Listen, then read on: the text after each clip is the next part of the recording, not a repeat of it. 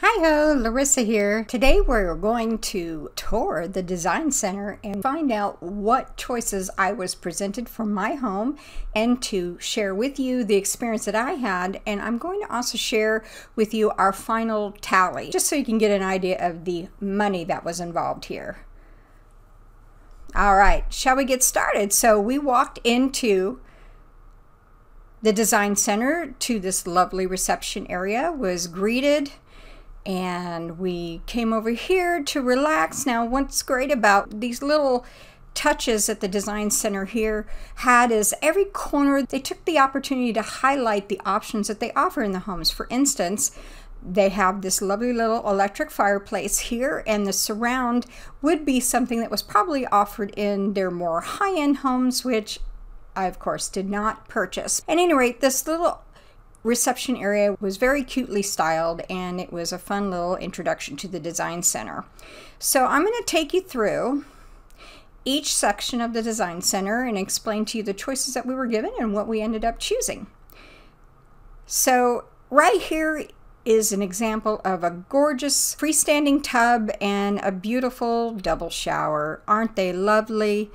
Look at the tile work and the chrome and the beautiful glass door and none of this is available in my home because I chose a much cheaper one. So shall we move on?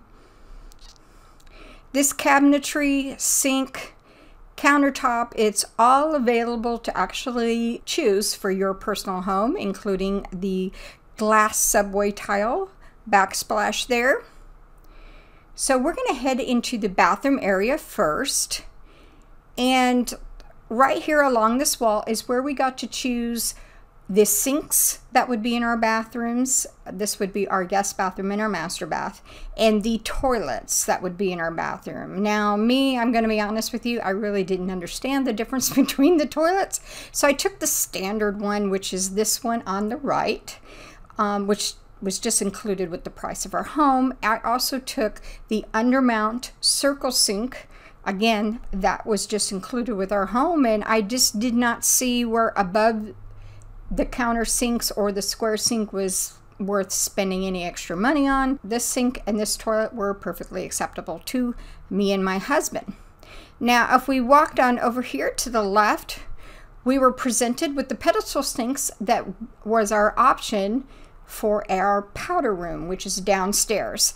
Now, the circular one here on the left was included, or we could upgrade to one of these square sinks. Again, we really just didn't see what these sinks offered for the extra cost. So we did go for the standard pedestal sink here on the end.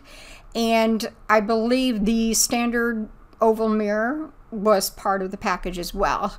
Now, they are showing you different versions of lights above the sink. None of them are the standard one, and I will show you that later in the lighting section. Now, real quick, let's go over the shower heads. They did offer upgraded shower heads from the standard ones that come in the package. Again, we were like, mm, that's okay. If we want fancy shower heads, we can get those down the line very, very easily. And none of these really scream to me, give me the shower head. So However, you can imagine that anybody wants to particularly make sure their hardware matches their design aesthetic. And they had a really really good selection here. So the standard would be over here this little chrome. And it looks standard. It looks cheap. Look at that shower head. I mean seriously. No! But of course nobody wants the standard. We want to pick our own hardware to match our design aesthetic.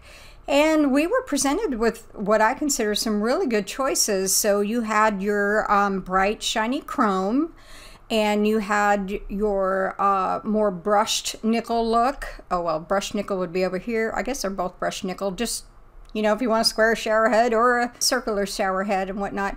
And I think this is like a bright bronze or a brushed gold. I believe it was this one. Yes, it would be this one, which was a um, oiled rub bronze look, and I, I like it. It didn't need to be fancy. It just needed to match our aesthetic. So, moving on. Let's make a quick turn here. We're going to stay in bathroom land. Now, if you'll notice, one thing that you'll also find in the design centers, they will also show examples of the different flooring that they offer throughout the design center. And so we here we got some different options in tile flooring. And again, regrettably, with our particular model, we had very basic options to choose from in the bathroom, but I just thought I'd show you what was available for other homes, not ours. We're showing you walking glass interiors with some neat subway tile. What the heck is that? Anyway, you've got your shower niches, which are also becoming a, a, a popular item to add to your shower walls. Here's another example of a undermount circular sink, which is standard, which is what we got. We have a tub that's not available for us. We have some square windows, which are available in some of the home floor plans. I really, really, really, really like this stone floor of the shower. This actually looks like a more modern wet room where the shower and the freestanding tub are together in a glass enclosure. So you really have some awesome options if you're willing to pay in the design centers for a builder grade home. And let's see here, we've got some more tile options and shower types. Let's move on so we stop looking at all the bathroom options that I do not have access to. So right here is the Wall O Cheap. Um, this is vinyl flooring, which is as cheap as you can get. You could probably save money and even possibly get a credit on other areas in your home if you use this vinyl flooring, sheet vinyl flooring, not to be confused with luxury vinyl plank flooring, which is coming up later. It gives the approximate look of wood and tile, I don't think it's really going to fool anybody. Over here, however, is some options for wood look tile. I didn't choose it for mine, but it's it's an option. We go down here. This is the carpet area. Now, I am not a wall-to-wall -wall carpet person, but a lot of people are, especially if they have children. Builders in general usually get uh, maybe a C minus on their carpet options, but I don't think that they were too bad. And from what I read, if you can upgrade your carpet pad underneath your carpet, it actually makes your carpet a lot nicer. So that's what we did. In this case, due to the builder grade options, we could not get luxury plank vinyl on our stairs. We had to choose carpet, so we choose a pattern which I will put up here on the screen. There were lots and lots of beautiful options here to choose from, and I might have choose this beautiful basket weave up here, which I thought was really pretty. So that was carpeting. I'm going to skip this in the middle for the moment, the different tile options that they have to move on down to more flooring. What is really awesome that I enjoyed when I went to the design center is I came up to this wall. Our house does not offer the option in order to get engineered wood flooring, but it was it was neat to look at, especially when I turned around on this side and realized this was the luxury vinyl plank options that they had. And I could not tell the difference between these and the manufactured hardwood versions. So I was really stoked to see how awesome the luxury vinyl plank is. Now, I've heard that it's great in water areas. It is much more durable than engineered wood in kitchens and bathrooms. And so I was very excited to hear that not only was this the less expensive option, but it was the one that would last longer and it was to me indistinguishable from the real thing so i was happy and i will put up here on the screen the one that we ended up choosing for our home and prices so this back wall here, we really didn't go over very much because we did not have it in our budget to tile the bathrooms or the kitchen. None of this tile was part of our choosing, but as you can see, we've got different floor tile options here or wall tile options or both. They had some really really neat patterns. I mean, I really think right here, this one here that's kind of reminds me of grass wallpaper. I love this one as well, and I might use something similar in upgrading my guest bath down the line, but it was neat to look at just like in the other bathroom areas we were in earlier, it's neat to look at all the lovely stuff that we can't have. so those were all the tile options we did not take. So let's talk about some tile options we did have. In this case, the only tile option that we really chose was the backsplash for the kitchen. And they had a myriad of choices. They had classic subway tile here. They had little glass tile stripy things. I'm not sure what they're called. Um, they had little button tiles, which were kind of cool.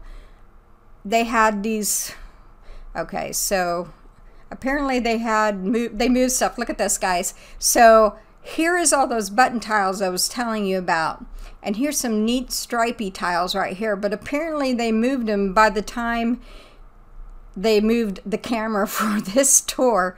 Also, if you'll look over here on the right, there are some really neat natural stone options that make it look like that your wall was made of stone. They're going to change now when I change camera angles. Woo! Magic! All the buttons are gone now. But we still have our glass stripies. Lots of glass stripies, and the options and the stone have changed. Oh, I found the buttons. Oh, I found them. Look at that. I wasn't really fond of the buttons, but they do come in many different colors and they might be somebody's taste. There is my rocks that I really kind of liked earlier that you could do in your shower floor if you chose. So as you can see, we got some more different patterns and we got our octagonal, both in really small button sizes and slightly larger ones.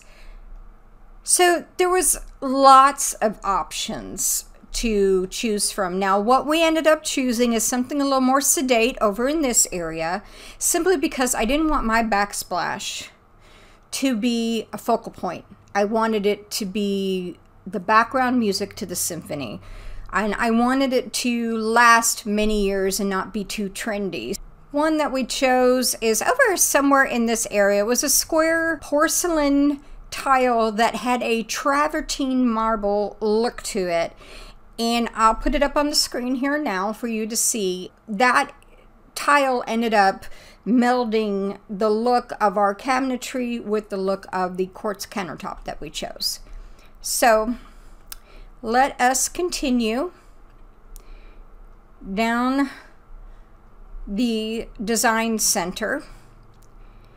Now over in this corner, we got to choose our interior door styles. Now, I can't pull these out for you to see, but I'm going to put up here the interior design style that we chose for our doors.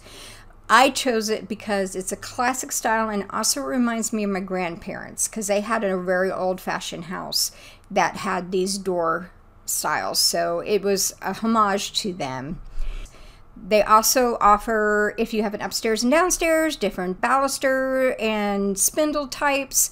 We chose a really basic one. And if you see my tour of the model home video, which I will link up here in a card, you will see that we ended up only going for a very small amount of stairway that actually had this. So we just kind of went for the default one you see here on the end with wooden spindles with a gunstock stain. So we also had an option right here on the wall. These weird looking Z things are our options of our different type of trim that we wanted around the doors and along the baseboards, etc. And so they do have some more traditional style ones, something a little funky like these three staircase looking ones. We just chose a flat nondescript style with a thicker baseboard. Stay tuned. I'm going to be putting a faux wood treatment on these baseboards and trim to make it look like that I actually have wood trim instead of this white MDF. So, one thing that was neat is that we really did not have to pay a premium for any particular hardware for our exterior and interior doors. We just had to choose the one that we liked best. The only premium that they had was if you wanted a deadbolt lock that came with a code that you could program in instead of using a key, which we did not choose. Most of the time, we'll be going in and out through the garage anyway. We did choose two main things. We want with a little more of a traditional look. We also went for the interior handle types that are kind of lever. We did not want the doorknobs. There is nothing worse than having your arms full of stuff and not being able to turn a doorknob. I like the idea of just being able to elbow a lever and getting a door open. So that's the one we chose. So we kind of just glossed over the lighting choices my husband and I because the default ones were actually acceptable to us. Lighting is so easy, guys, to upgrade on your own later on. Do not pay for upgraded lighting.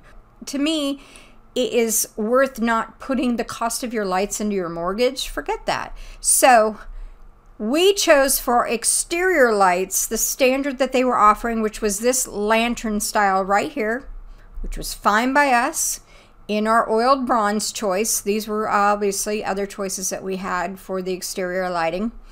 For our over the bathroom, I'd mentioned earlier that we found the over the bathroom mirror lights, the default ones to be just acceptable. And these were the default ones we were offered. We either had the oiled bronze ones or the brushed chrome ones. One day I decide I'm sick of them, I'll get a different light, but those were fine by me. These were all the different decorative options that they offered for over the mirrors in the bathrooms. And then, of course, we also chose the pendant lights over our island. They have all those pendant lights up here on the ceiling. All these other models, unlike us, would have also lighting over the dining room table, etc. So they had some chandelier options and whatnot we chose a very basic matte black pendant light for over our island that I will show you right here. And I will be linking all of these as well in the description below. Okay, so when it comes to appliances, you can also put the cost of your laundry room appliances into your design center choices as well. And that's what me and my husband chose to do. So we are going to get a front loader washer and dryer without the pedestal stands because we have them now and we've decided that we don't like them. They're annoying, they get dirty, they're not as useful as I thought they would be. We think it'd be a lot more useful to actually build a shelf above these if these were sitting on the ground and not on the pedestals. One interesting thing about the appliance packages is that right now we have no idea what appliances we're going to get because of the supply chain issues going on due to COVID 19. We are only guaranteed a model type or better. Okay? They will not charge us extra if they have to go up in model quality, but they will not go below the original model that would have come in our package normally. Here's another example of an electric fireplace and a surround. I'm not that fond of electric fireplaces. I chose not to have one put into my house even though it was an option. I want to upgrade down the line to a ventless gas fireplace. All right, so let's get into the fun stuff. Ooh, we're going to look at all the model kitchens now. So there was lovely model kitchens for us to look at, different cabinetry types, different hardware types, different backsplash types, even different window covering types. So we had the opportunity to choose window treatments in advance, which would have been basic white faux wood blinds and plantation shutters as you see here. So we decided not to get any of the packages for window treatments up ahead because it was just the two options we'll do our own window treatments. So it's just look around. We did opt for the gas range. We hope that we'll get a really nice one like this one. And we will have the much maligned microwave over the range option. But if you look in our model home tour, you will see that we really have a small kitchen and to me is the most efficient use of space.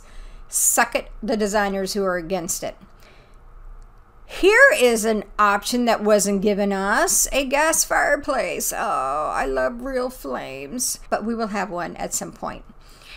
Here's another view of a, a model kitchen with different cabinetry, different countertops. This looks like it has what they call a bull nose instead of a square countertop, and this is showing a different type of edge as well. This has got induction cooktop, which was an option that we did not take because we want gas. Here is the gorgeous window that will be over our oven in our kitchen, giving us lovely natural sunlight into the countertops. If you really want to see this in its full glory, check out our model home tour video. Ah, I love it. We turned down the option for a double fridge. I can imagine that families with a lot of children could really use this. We are not one of them. We are empty nesters. And let's, we are probably going to have almost the same exact sink, which is a stainless steel under the mount sink. We are not going to have brushed nickel faucets. We are going to have oil rubbed bronze. Let's come around here another model kitchen. It's just so cool to walk through these. You know what it reminds me of? It reminds me of how cool it is to walk through an IKEA, right? And see all the stuff that they sell set up in all its glory. And then you get home and realize that you have to spend five hours putting it together. But in this case, we don't have to do that. The builders are going to put it together for us. So here's an example for a chef kitchen with a double oven. We were not given the option of a double oven, but we were given the option of an oven with a microwave recessed in the cabinetry, which we did not take because that would take away needed cabinetry.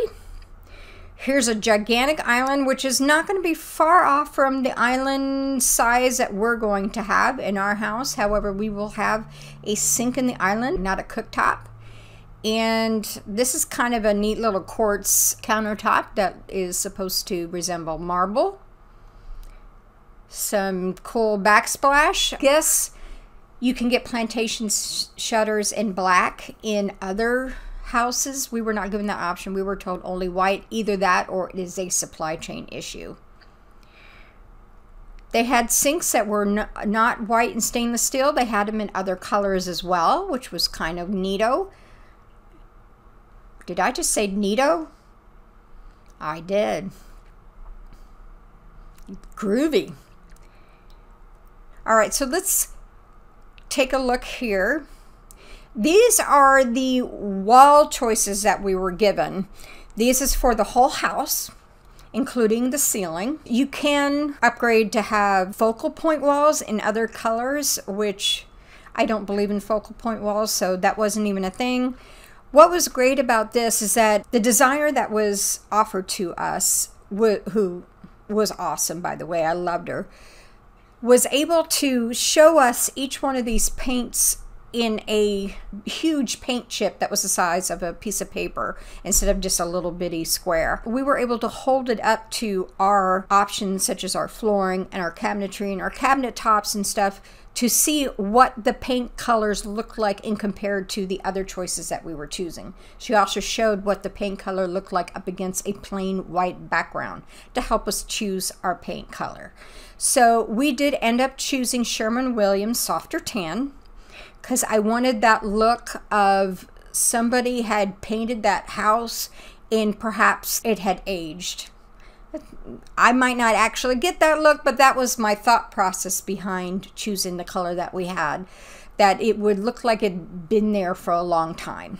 It's funny how you see everything and you just go, well, it's white, white, white, white, and white, but it really isn't once you start looking at all your other design choices. So here it is. This is the moment we've all been waiting for during throughout this whole tour and you might have actually fast forwarded to this point because this was the only point you wanted to see. This was the kitchen part of the design center where you could choose from probably hundreds, maybe thousands of combinations to give your unique kitchen. So the first thing that you're going to look at is probably your cabinetry style itself. So they did offer lots of different styles. As you can see here, you had some plain front styles, you had some shaker style front, you had some other more molding, more fancy or more traditional styles.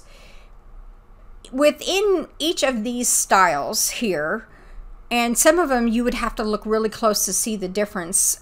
For instance, it, this is shaker style, but this is shaker style with just a little bit of a oomph along the edge behind each one of these doors, and these are working cabinet doors, are different finishes that each one of these styles come in. So it was really neat to choose, but I can be honest with you, I already had in my head what I wanted, and I'm, I'm guessing a lot of people would. And I wanted something that looked a little rustic and a little not too fancy, certainly nothing like this. And I wanted I guess basically shaker style. So that's what I ended up going for. I went for this, and the maple had a toffee stained finish.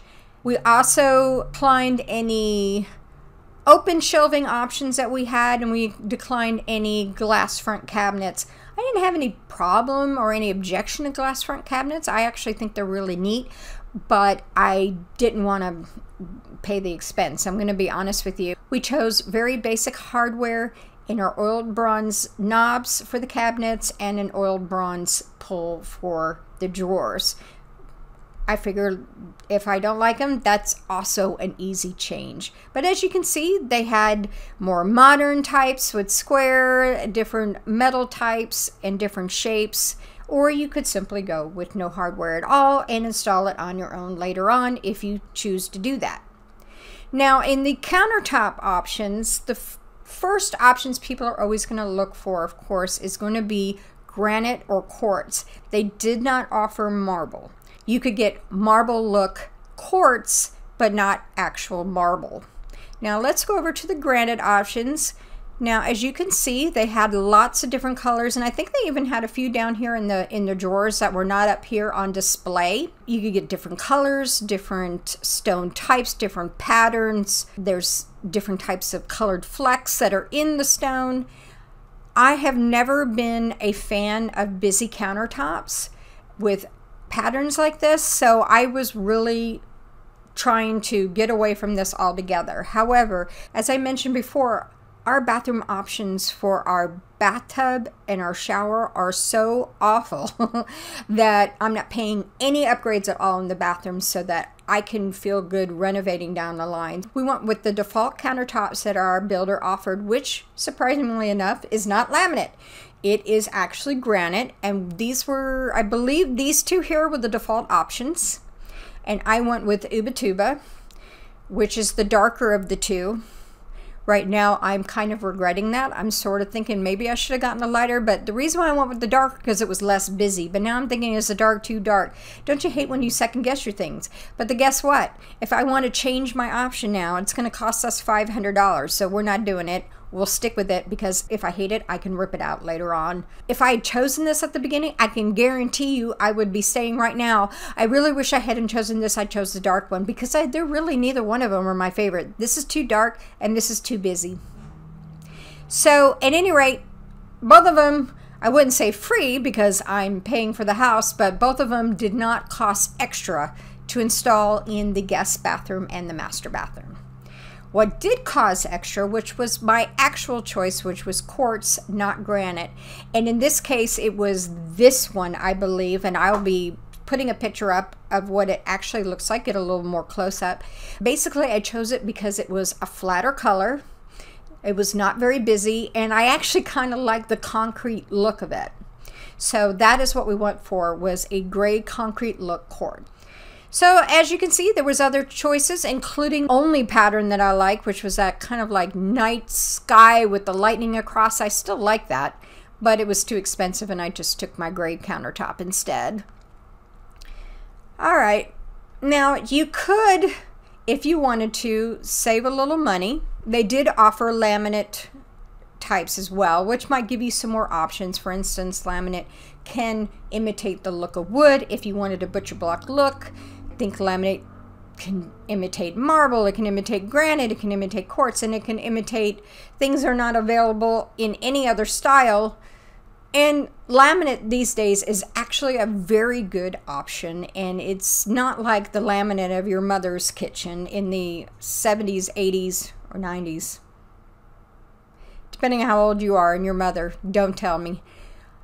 But it is definitely a good option. The one thing that's going to keep people from choosing laminate, even though it is an attractive and less expensive yet durable option, is you still can't get an undermount sink with laminate. There are a few people out there that are coming up with ways to do that, but in general, in the building industry, the only way to get an undermount sink is with granite or quartz because they have the strength to support the weight of that undermount sink, whereas laminate is actually put on top of MDF or particle board and it would just fall apart.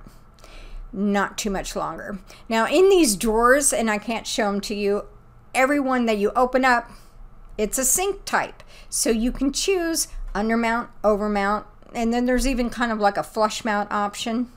And you can also choose, do you want a single bowl or a double bowl?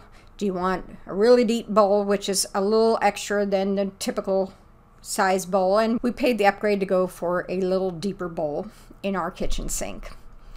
And then, of course, here's your uh, final choice in your kitchen, which is your faucet types. We want for the oiled bronze, once again, shucker of the moment. I do like these goose head tall type of sink faucets. I don't like the shorter type, but maybe other people prefer that type. I believe this is just for a little bar sink or a little extra sink that you would have on a large kitchen island. Those are for houses greater than mine. And this was the basic one that they offered us. And I'm not doing it. You could probably get that for $6.99 at Walmart for crying out loud. I did opt to get the under the mount soap dispenser link and I am going to be using a special attachment that they sell on Amazon and I will link that for you. That instead of having a container underneath this soap pump underneath the sink that you constantly have to refill you can actually get a tube that will go down into a dishwashing liquid refill bottle and just screw it in there. You don't have to refill. I'm I'm all for that less work for me. Now that ends our tour of the Design Center. Tell me what you think. I really would like to know because this has been an amazing journey for me. I knew nothing about buying a new built home prior to this experience. And I'm wondering who else is out there that's going through this experience and is looking at my videos to learn more about it. I would love to touch bases with you. Let's chat. I promise you, if you post in the comments, I'm going to come along and I'm going to answer. Bye, bye, bye.